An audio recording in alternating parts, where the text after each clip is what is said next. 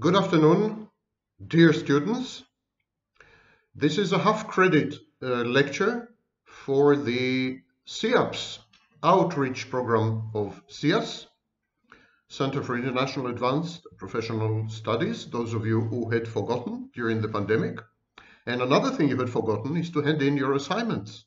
Half of you, more than half of you, haven't done so. I don't know, you're twiddling your th thumbs or shudder the thought, twiddling some other part of you. So quit twiddling and start handing in, submitting your assignments from the last lecture. Last lectures, actually. Okay, enough with hectoring and preaching. Today we are going to discuss meaning. Meaning, the role of meaning in therapy. We are going to use three examples, three treatment modalities, three therapies, which have based themselves explicitly on the meaning of life, on introducing meaning, context, and sense into the client's life, or deriving meaning, context, and sense out of the patient's or client's life and the way he describes his life, also known in clinical terms as personal narrative. Meaning is a very important thing.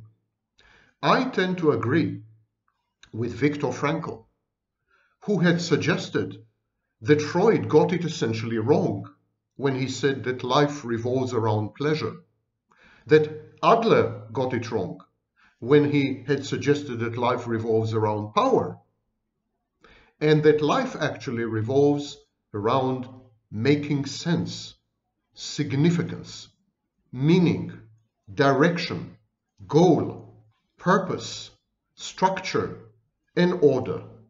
In this sense, Jordan Peterson is right when he posits chaos against order and claims that order is the key to mental health. And so today we are going to discuss meaning. How do we introduce meaning into a life that ostensibly is chaotic, is all over the place, discombobulated, disintegrated? How do we, how do we impose structure and order on people who decompensate, who defiantly and contumaciously react, reactants, on people who confuse external objects and internal objects. In short, how do we make sense of mental illness? And once we make sense of the lives of the mentally ill, do they stop being mentally ill? Is this the key?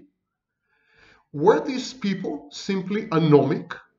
Were people, are people with mental illness simply people who fail to make sense of the world, of their lives, who find no meaning, no purpose, no direction, no structure, no order? Is this why many of them end up in hermeneutic, explanatory, and organizing systems like religion? Because there they find what they're missing? And are these solutions, like religion, not much worse than the problem? Swapping one delusion for another one illusion for another? Is this an acceptable mental health strategy? But we tend to do this a lot in our daily lives. What is love? What is love if not a delusional disorder? By the way, biochemically in the brain, it resembles very much a mental health disorder. I refer you to my video on this YouTube channel uh, titled Love as a Pathology, where I summarize the latest findings. Love is indistinguishable, or more precisely, the stage of limerence, the stage of infatuation, is indistinguishable from mental illness. And I'm talking about the brain, functional magnetic resonance imaging. So here we swap one, one intolerable situation, a meaningless life, for a delusion called love, because love structures our lives. Love gives us direction, purpose, goal, etc. In extreme cases, love deteriorates into stalking. Similarly, substance abuse, drugs, alcohol, they provide an exoskeleton, They imbue life with meaning, and that's why they are so difficult to eradicate, to reverse. That's why rehab, rehab is a spectacular failure because rehab tackles the psychological and physiological elements of addiction, but does not tackle the nomological, the axiological aspects, the lack of meaning in the addict's life. So today I would like to discuss three treatment modalities um, which leverage meaning, use meaning as a healing tool. Let's start with the power threat meaning framework, PTMF or PTM framework. And I want to read to you what these people say about themselves. The PT, PTMF framework was developed by both uh, psychologists and psychiatrists. This was one group of psychologists and psychiatrists, and they teamed up. They teamed up with social workers, neighborhood activists, and so on. So they went down. They went. They they they went to the grass grassroots. They they went to the neighborhoods. They went to homeless people they went to mentally ill people. They went to mental asylum. I mean, they they dirtied their hands. They didn't stay in the lab or in this lecture hall and just theorize. And you know, they didn't um, they didn't consider themselves public intellectuals. They considered themselves frontline health workers, and they collaborated with everyone who was fighting back, battling against the pandemic of mental illness because that's by far a pandemic that's larger than COVID or anything else we have known. About one third of the adult population in most Western countries is diagnosed with a major mental illness. So the power threat meaning framework, and now I'm reading from their own publication, is a new perspective on why people sometimes experience a whole range of forms of distress, confusion, fear, despair, and troubled or troubling behavior. And it is an alternative to the more traditional models based on psychiatric diagnosis. It was co-produced with service users and applies not just to people who have been in contact with the mental health or criminal justice systems, but to all of us.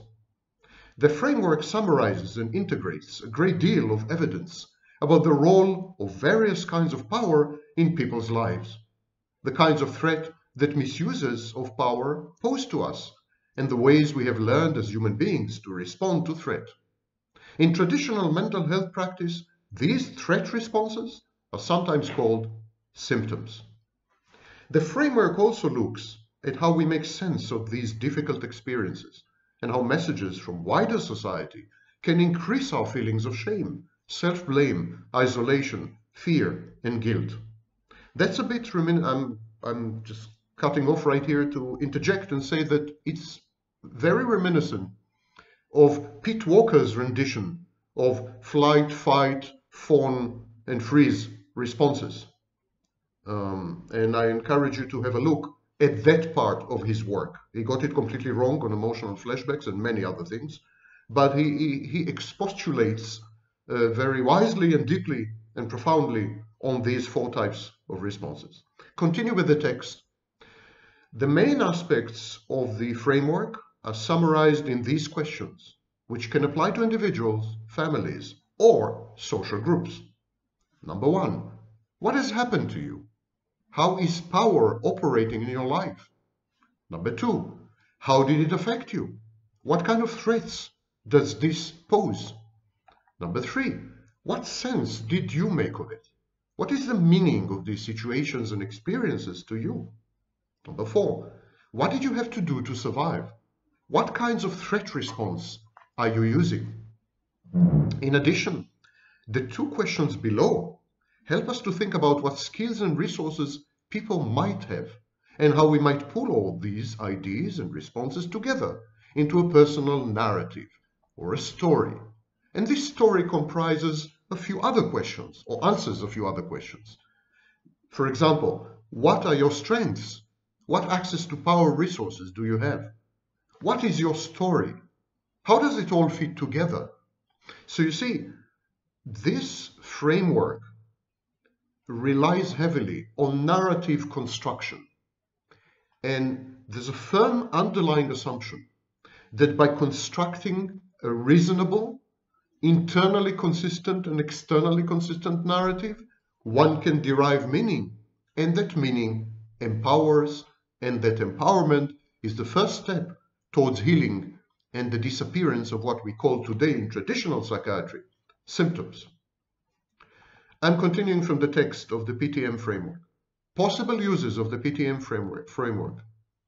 The power threat meaning frame, framework can be used as a way of helping people to create more hopeful narratives or stories about their lives and the difficulties they may have faced or are still facing, instead of seeing themselves as blameworthy, weak, deficient, or quote unquote mentally ill.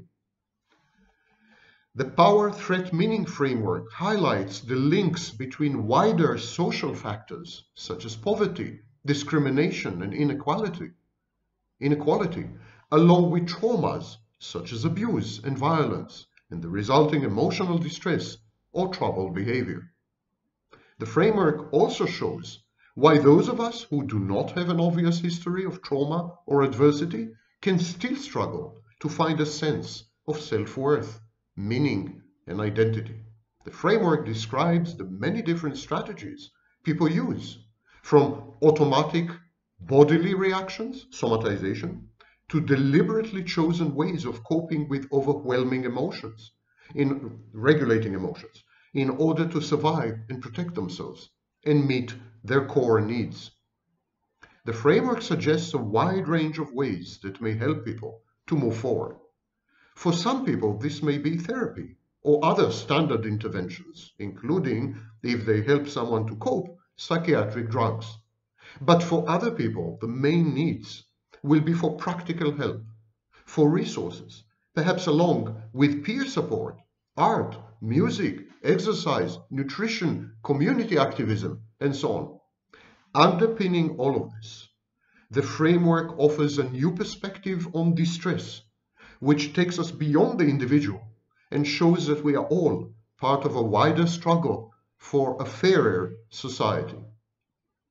One of the most important aspects of the framework is the attempt to outline common or typical patterns in the ways people respond to the negative impacts of power. In other words, patterns of meaning-based responses to threat. When we are confronted with threat, we seek meaning. This part of the framework like all of it, is still a process in development. However, the evidence summarized in the framework does suggest that there are common ways in which people in a particular culture are likely to respond to certain kinds of threat, such as being excluded, rejected, trapped, coerced, or shamed. It may be useful to draw on these patterns to help develop people's personal stories. These general patterns can help to give people a message of acceptance and validation. The patterns can also assist us in designing services that meet people's real needs, as well as suggesting ways of accessing support, benefits, and so on that are not dependent on having a diagnosis. In addition, the framework offers a way of thinking about culturally specific understandings of distress without seeing them through a Western diagnostic model. So, in other words, the framework is not culture bound. It doesn't crucially, critically depend on a cultural context, a societal context, or a context of the period in history in which it operates. The framework encourages, I'm continuing from the text, the framework encourages respect for the many creative and non-medical ways of supporting people around the world and the varied forms of narrative and healing practices that are used across cultures. And in concluding remarks, they say, Taking the PTM framework further, it is important to note that power threat meaning is an overarching framework which is not intended to replace all the ways we currently think about and work with distress. Instead, the aim is to support and strengthen the many examples of good practice which already exist, while also suggesting new ways forward. The framework has wider implications than therapeutic or clinical work. The main document, and they're referring to a specific foundation document, suggests how it can offer constructive alternatives in the areas of service design and commissioning, professional training, research, service user involvement, and public information. There are also important implications for social policy and the wider role of equality and social justice. It is a work in progress offered as a resource for any individuals, groups, or organizations interested in developing it further. And I add that this framework has, is proving its value and its relevance, especially now during the pandemic, when traditional tools have been taken away from us, when we have been isolated and alienated from the familiar, when everything, including loved ones, can be perceived as a threat, and where whatever happens outside makes no sense whatsoever. And so our lives are rendered increasingly more meaningless. So the framework can help you restore meaning, create a new narrative, which will empower you in different ways and allow you to reintegrate with people, familiar people and new people. I strongly encourage you to delve into this. Everything is available online. They welcome contributors and contributions. Contributions I don't mean money, Con intellectual contributions, ideas, observations, shared experiences. They welcome all of you. So I strongly encourage. Now, the second treatment modality I would like to discuss, typically immodestly, is my own. I had developed a treatment modality called cold, dubbed cold therapy. Cold, like in cold, mm-hmm. cold therapy. Cold therapy, now with its extension, nothingness, nothingness narrative construction. Cold therapy and nothingness narrative construction is all about meaning. I actually started my work on cold therapy by rereading Frankl's writings, and we we'll come to Viktor Frankl a bit later. But cold therapy is about meaning. Now, cold therapy is a therapy that eliminates grandiosity. It eliminates grandiosity in narcissistic disorders of the self, including narcissistic personality disorder, and it eliminates grandiosity in depressive narratives.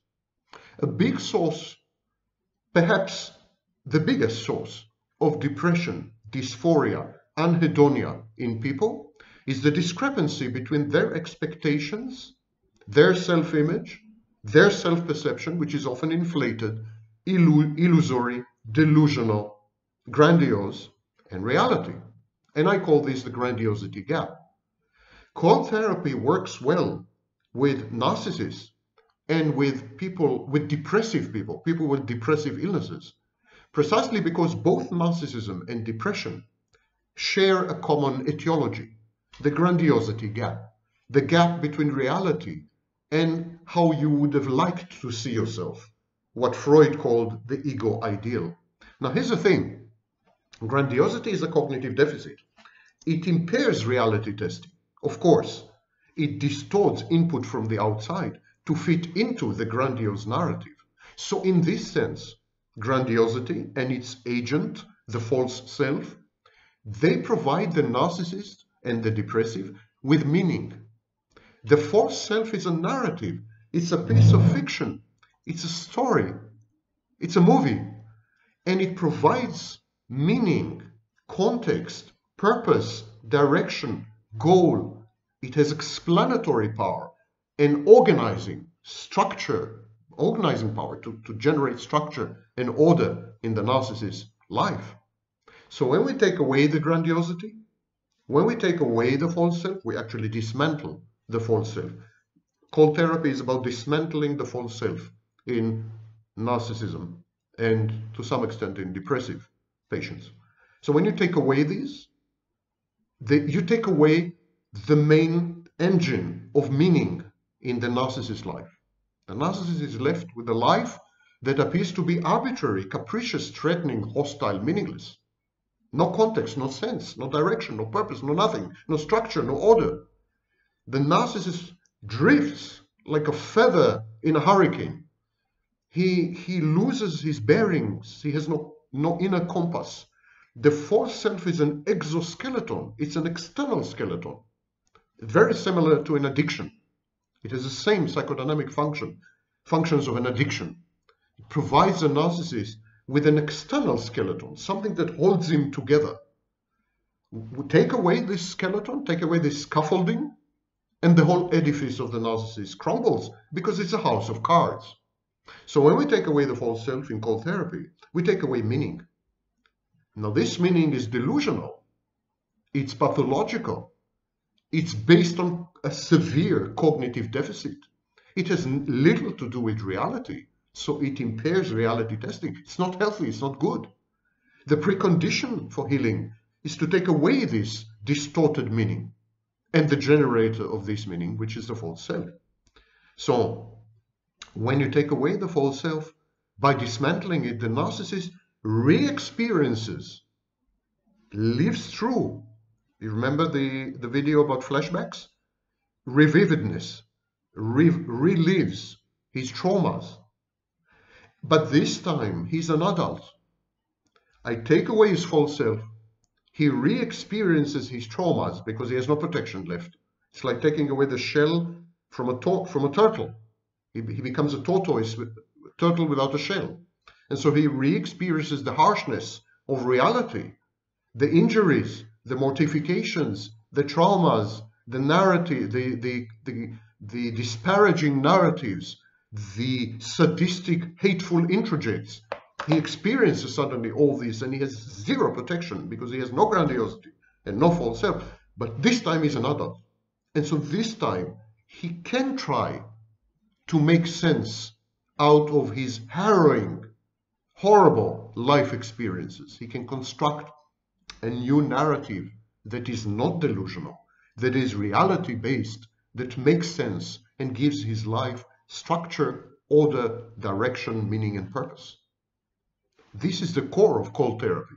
It's forcing the narcissist, forcing the depressive patient to let go, to let go of a dysfunctional, delusional, sick, constricting, uh, crippling, uh, meaning generating narrative, get rid of it, trash it, and then bravely and courageously face the pain the fountain, the tsunami of pain and hurt and damage and shame and guilt to some extent, have to face it and have to integrate it in a new story, in a new narrative that makes sense and would continue to make sense. Now in AA, Alcoholics Anonymous, they more or less force you to do the same, to go through the same path of letting go of your grandiosity, and then having to face the people you've hurt during your alcoholic bouts, the damage you have caused, and then to integrate all this into a narrative of healing and recovery. It all boils down to the same, effectively. Get rid of dysfunctional pathological defenses, deficits, biases. Get rid, stop renouncing reality. Stop, as Cleckley called it, rejecting life. Embrace life. Embrace who you are. Flawed and invalid as you are. Accept yourself. Nurture and parent yourself or reparent yourself. Extricate yourself, this time with your own power, out of the trauma of your early childhood and heal. Heal via meaning, which leads us to the last treatment modality, and by far the most dominant and important, and that's logotherapy. Logotherapy uh, was invented by Viktor Frankl. Viktor Frankl had the most amazing story. He was he survived in Auschwitz, the in, indescribable hell on earth, an inferno reified and embodied in Poland, a concentration and extermination camp. Most people were lucky, were lucky or unfortunate to survive six months in Auschwitz. This guy, Viktor Frankl, survived for three and a half years. Three and a half years in hell with devils and demons in human form, SS guards, and so on. And he has emerged with lessons. He has emerged with his mental health largely intact, a bit of a bit of grandiosity there, but largely intact and he leveraged his experiences to help humanity, and he invented logotherapy. Logotherapy, I'm quoting now from the from the website of the Logotherapy Institute. Viktor Frankl's logotherapy is based on the premise that the human person is motivated by a will to meaning, an inner pull to find a meaning in life. The following list of tenets represents basic principles of logotherapy. 1. Life has meaning under all circumstances, even the most miserable ones, even in Auschwitz. Number 2. Our main motivation for living is our will to find meaning in life. Number 3 we have freedom. We have freedom to find meaning in what we do and what we experience, or at least in the stand that we take when we are faced with a situation of unchangeable suffering. How we react to suffering is in itself meaning or generates meaning. The human spirit referred to in logotherapy is defined as that which is uniquely human. Though in no way opposed to religion, the term is not used in a religious sense. So how do we discover meaning? According to Frankl, we can discover this meaning in life in three different ways. Number one, by creating a work or doing a deed. Creativity. Number two, by experiencing something or encountering someone. And number three, by the attitude we take toward unavoidable suffering. Everything can be taken from a man, but one thing, the last of human freedoms, to choose one's attitude in any given set of circumstances. On the meaning of suffering, Frankl gives the following example. Once, an elderly, elderly old general practitioner consulted me, an old medical doctor consulted me because of his severe depression. He could not overcome the loss of his wife, who had died two years before and whom he had loved above all else. Now, how could I help him? What should I tell him? I refrained from telling him anything, but instead I confronted him with a question. What would have happened, doctor, if you had died first and your wife would have had to survive you? Oh, he said, for her this would have been terrible. How she would have suffered. Whereupon I replied, You see, doctor, such a suffering has been spared her, and it is you who have spared her this suffering. But now you have to pay for it by surviving, by mourning her. He said no word, but he shook my hand and calmly left the office. Viktor Frankl vignette. All psychotherapies make are based, of course, on implicit or explicit assumptions, usually implicit philosophical, even metaphysical assumptions.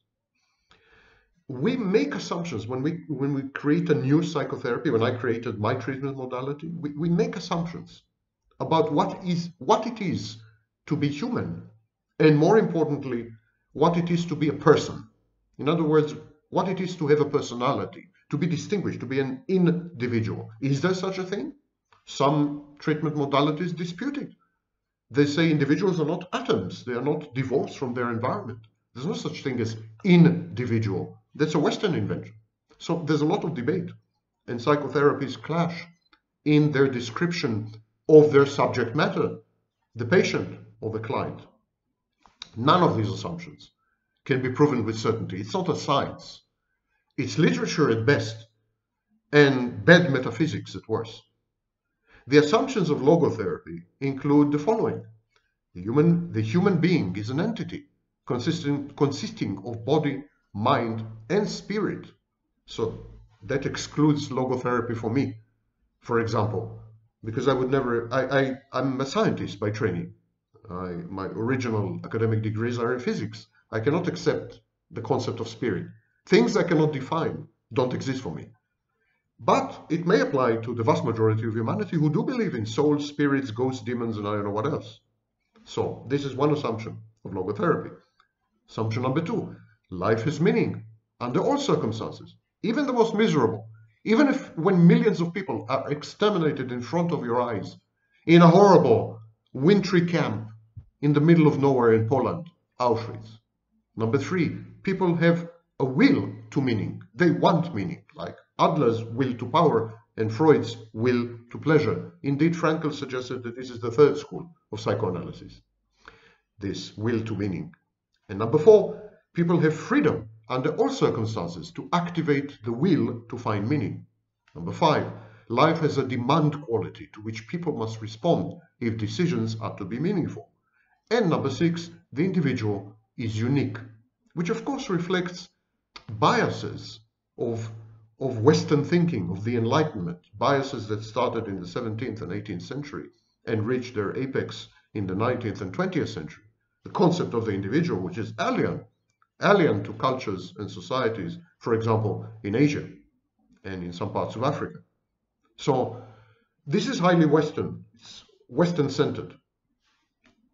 The first assumption deals with the body, soma, the mind, psyche, the spirit, nous, nous. According to Frankl, the body and the mind are what we have, and the spirit is what we are. Assumption number two is ultimate meaning. This is difficult to grasp, but it is something everyone experiences, and it represents an order in a world with laws that go beyond human laws. It's not the laws of nature. These are metaphysical laws, sometimes translated, sometimes they appear in the form of religion. But even when you're not religious, even when you're agnostic like me, or you have the religion of atheism, you're a non-deistic religious person, or your, your religion is science, even then, there are these unspoken, unspoken laws, kind of ambient, ambient canon codex of how, how the world behaves, the, the etiquette of existence, if you wish. The third assumption is seen as our main motivation for living and acting. When we see meaning, we are ready for any type of suffering. this is considered to be different than our will to achieve power and pleasure.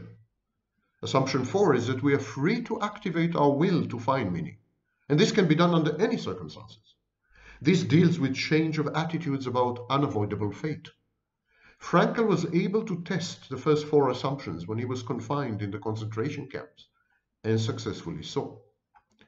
Let me tell you this, any psychotherapy that helped someone survive Auschwitz is worth considering. The fifth assumption, the meaning of the moment, is more practical in daily living than ultimate meaning. Unlike ultimate meaning, the meaning of the moment can be found and fulfilled. This can be done by following the values of society or by following the voice of our, con our conscience. Not much of a difference, by the way. Our conscience is internalized society. It's in introjected via the process of socialization. The sixth assumption deals with one's sense of meaning. This is enhanced by the realization that we are irreplaceable, unique. In essence, all humans are unique with an entity of body, mind, and spirit. We all go through unique situations. We are constantly looking to find meaning. We are free to do this at all times in response to certain demands. Viktor Frankl, like Sigmund Freud, was a neurologist, but unlike Sigmund Freud, he was also a psychiatrist. And he believed that the primary motivational force is meaning in life. He believes that if you're motivated by money, if you're motivated by sex or power, your motivation will not last long and it will, it will not sustain you as a, as a functional, integrated entity. Meaning does this. Meaning is the glue that holds everything together. And when you look at models, models of the psyche, when parts in these models interact, and I'm not only talking about Freud's tripartite model, I'm talking about Jung's model. I'm not only talking about psychoanalytic or psychodynamic models or object relations models, any model, including behaviorist models. They necessitate meaning. A leads to B. This teleology is to some extent embedded. A leads to B because A needs to do something to B or with B in order to achieve C. There is uh, one, if, if I were religious, I would say there's a mind, a designer. But of course, evolution gives a sufficient answer for this, and God is, an, as Pascal said, an un unnecessary assumption. So, logotherapy is in many respects existential. I mean, belongs to the school of existentialism. And it is openly, I mean, Frankl admits that he derived it from Kierkegaard's will to meaning. And Alfred Adler was influenced by Nietzsche. Nietzsche's will to power, while Frankl was influenced by Kierkegaard and his will to meaning. Freud was influenced by Bleuler and others, and he came with a will to pleasure. Logotherapy says that you must, you always strive to find meaning in life. This is the most primary, most foundational, most powerful motivating and driving force. And I advise you to read the book Man's Search for Meaning, which is the accessible, because uh, Frankl has many technical, highly obtuse and complicated books, which I also recommend to read. I mean, they're very, very important. But if you want to get the gist of it, and how shall I say, the spirit of it, then Man's Search for Meaning. In, in this book, he outlines how his theories helped him to survive the Holocaust and how his experience, how he developed his experience and how he generated his, his theories. Logotherapy, of course, is based, I mean, it's, it's, these are two words, logos and, and therapy. So logos is reason. Logos is also word. So logos is language. Logos is reason. Logos is the mind of God in action, if you read the New Testament. Uh, the first sentences about the logos. So he says that that people are motivated by the logos. When they look at the world, when they look at the universe, there are two ways to look at your environment. Either you look at it and it's totally chaotic, totally random, totally meaningless, has no direction, purpose, and you say to yourself, when I see meaning, when I see direction, when I see purpose, I'm imposing myself on the universe. The universe is not like that. That's a delusion. These narratives are all, you know, BS because it's me. I'm inventing them. And if I'm the source of these narratives, you know, they don't really, they don't, they don't give real meaning. These narratives reflect more about my inner state, about my inner landscape, about my mental uh, structures, constructs, introjects, than about reality. They say nothing about reality. And if I force reality, shoehorn reality to conform into these narratives, I'm just lying to myself. So that's one way of looking at the universe. And another way of looking at the universe is, is the way Frankl does, saying that, yeah, humans are the source of meaning, but that doesn't mean that meaning is meaningless. The fact that we are the source doesn't vitiate, negate, or undermine the, the power of meaning, the importance of meaning, and above all, the validity of meaning. We can come up with narratives which are meaningful, and these meanings will be sustained by reality. Science. What is science? Science is a set of narratives. Who creates science? We do. Only we do. I have yet to come across a giraffe who, create, who creates relativity theory. Humans create science. And yet, science resonates with the universe. The universe agrees, complies, obeys, follows science. Of course, it's a way of looking at it.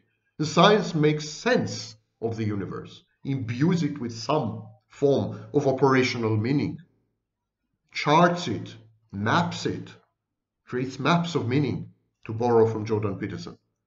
So, science is an example of an, a meaningful narrative which is essentially human, only human, exclusively human, but still has its own standalone validity independent of the source. And so if we can do it with science, why can't we do it with metaphysics or philosophy? Or you know what? Perish the thought, religion. The human spirit imbues the work of Frankl. But his use of the word spirit is not spiritual. It's not religious. Spirit is the will. What Kierkegaard called the will. That's the spirit. It's the search for meaning. It's not a search for God. It's not a search for any supernatural being. It's not a search for the paranormal. The search for meaning, on the contrary, is very pedestrian, is very quotidian, is very detail oriented, is very, you search for meaning in your routine, in your daily life, in the people that surround you day in and day out. Or Zoom, Zoom with you day in and day out. You search for meaning in the virus. You search for meaning in the in in the sick wards in hospitals. You search for meaning in the trenches where millions of people die. You search for meaning in hunger. You search for meaning in love. You search for meaning in your children and your spouse and your boring and dull work. You don't search for meaning in in heavens. You don't search for meaning in the in the kingdom of heaven that is about to come, or in the second coming, or in any guru or prophet or public intellectual. Or you don't search for meaning in these places. You search for meaning within yourself. Within yourself. Um, he Frankl warned against affluence, hedonism, materialism in the search for meaning. He said that these are these are gods with feet of clay. They, they, they're idols in the biblical sense. And their prophets are false prophets, all these coaches and, and so on. Frankl observed that it's actually psychologically damaging when our search for meaning is thwarted, blocked, frustrated, deformed, manipulated. Althusser, Louis Althusser, with his interpolation. So, positive life purpose, positive meaning is, is could be uh, associated with strong religious belief or membership in some group or dedication to a cause or upholding certain life values and reifying them in your behavior, having clear goals, um, purpose of life, adult develop, uh, developing into an adult, maturing into an adult, implies having a purpose, having a structure, channeling, having a direction. And yes, in many respects, it implies narrowing your life. Channeling means being limited to a channel. And this is what Cleckley describes in his book, Mask of Sanity. Psychopaths, even gifted ones, even geniuses, and he, he dedicates a whole chapter to gifted psychopaths. Their problem is not that they're stupid or even that they are insane, although he claims that they are functionally insane. Their problem is that they, they reject life. They reject life in the sense that they refuse to adhere to any purpose and any meaning in any direction and any order. They are defiant. In psychopathy, we call it reactance. Psychopaths are react, reactant. They have defiance and they sacrifice their own, them, they, they would rather die than succumb, than accept the mores and edicts and expectations of society, of peers, of family, of institutions. They'd rather die. And they often die. So, psychopathy is the rejection of meaning the rejection of meaning, the rejection of maturation, and the rejection of life. Because to do this, you must comprehend life's purpose. You must direct it. You must have intention. Life is intentionality. Intentionality creates the feeling that life is meaningful. And there were many other scholars like Crumbaugh, Maholick, and they designed even something called the purpose of life, purpose in life test, the PIL test. It measures individuals' meaning and purpose in life. And they found that in various studies that meaning in life mediated relationship between religiosity and well-being, for example, between stress, uncontrollable stress, and substance abuse, depression and self-derogation, etc., etc.